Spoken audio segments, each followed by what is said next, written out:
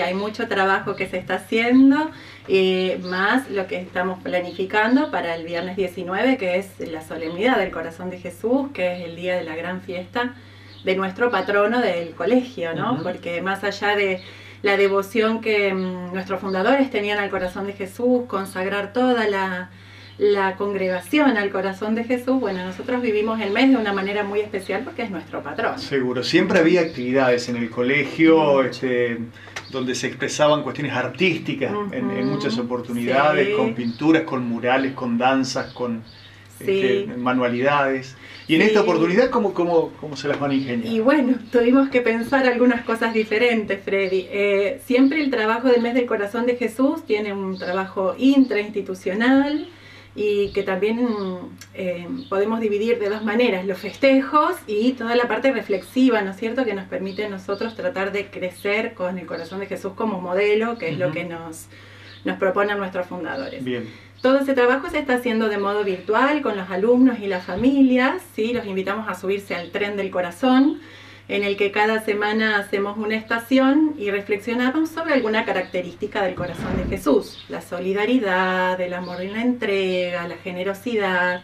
Así que bueno, ese trabajo es más reflexivo y intrainstitucional, pero el viernes tenemos que festejar, es así. El viernes 19. El viernes 19 tenemos que festejar. Así que bueno, traemos dos propuestas para invitar a toda la comunidad. Eh, una de ellas es que vamos a transmitir la misa en vivo, siempre hacíamos la misa presencial con los alumnos y demás. En la capilla del colegio vamos a hacer la misa, si Dios quiere, vamos a estar probando así algunas cuestiones técnicas. Eh, que va a ser en las 19.30 horas. Mm, de modo que, bueno, ya la gente esté en casa y pueda en familia este, sumarse a la Eucaristía. Bien que, bueno, según nos decía Marcelo Espínola, es la fuente de donde brota todo el amor de Jesucristo. Así que para nosotros es lo esencial de ese día. Bien, es decir, misa sin concurrencia eh, y con la posibilidad de observarla a través de las redes. Exacto, con, eh, a través del Facebook del colegio Este, van a poder eh, observarla y participar de la misa.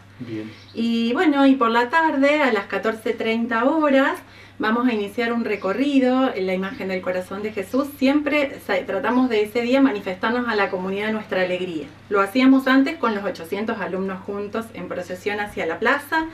Este año va a salir la imagen a recorrer la ciudad este, en una camioneta con música, invitando a todo quien sienta eh, devoción por el corazón de Jesús, no necesariamente que sea o haya sido alumno o exalumno del colegio, docente o vinculado, sino todo el que quiera salir a sus veredas a saludarlo.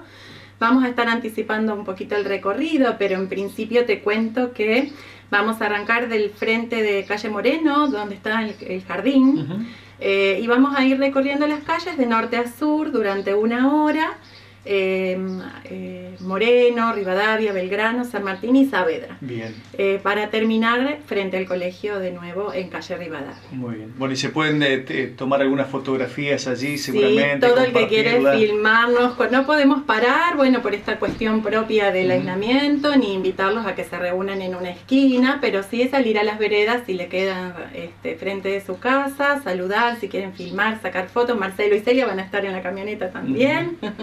Este, saludando y mm, vamos a intentar eh, de poder transmitirlo en vivo también, para que el que se pueda sumar desde el lugar que esté eh, a este modo de festejar que nos toca este año. No tenemos chocolatada, vamos a hacer algo similar virtualmente, invitando a los chicos en una clase virtual con su chocolate pero creemos que no va a haber, eh, no va a faltar oportunidad en el año de, cuando volvemos a hacer algún encuentro y tendrá que haber chocolate. Seguro. y, además, digo, después hay peticiones, hay cartitas que se pueden enviar. También eh, está circulando por las redes eh, un cuestionario de Google que, con un link donde podemos compartir anécdotas, recuerdos, fotos de de los festejos del corazón de Jesús que toda la vida se hicieron y peticiones para la misa. Y aquellos que, bueno, les cueste un poco el acceso por las redes y demás, a partir del martes, las, durante toda la semana, van a ver decorado el buzón de la puerta eh, de la casa de las hermanas. Y allí van a poder dejar su intención para que podamos ofrecerlas en la misa este, de ese día. Muy bien, del viernes. Del viernes. Bien, ¿recordamos el horario, Erika? La misa es a las 19.30 el viernes y eh, el recorrido comienza a 14.30 horas, el recorrido con la camioneta. Después te vamos a ir mandando para que lo recuerdes. Sí, por supuesto. ¿Sabes qué pensaba? Que qué importante eh, esta acción, porque más allá de la, de, la, de la fe religiosa que profese cada uno, el amor por el corazón de Jesús, digo, eh, es algo común a la mayoría de los que somos creyentes, no importa si son evangélicos, católicos, este, o, la religión que profesen. Esta historia del amor al corazón de Jesús, eh, que, no se pierda, que esté vigente, que esté latente, con las múltiples interpretaciones, pero que, sea como un sello distintivo. ¿no? Sí, más allá de que sea nuestro patrono, este, el corazón de Jesús es el que nos enseña el modo de amar que Jesús quiere para cada uno de nosotros y es nuestro ejemplo. Entonces, nunca terminamos de reflexionar y demás con respecto al corazón. Más allá de la devoción, las promesas también que él hace cuando, cuando aparece a Santa Margarita. Entonces, bueno, está bueno conocerlo y, poder celebrarlo.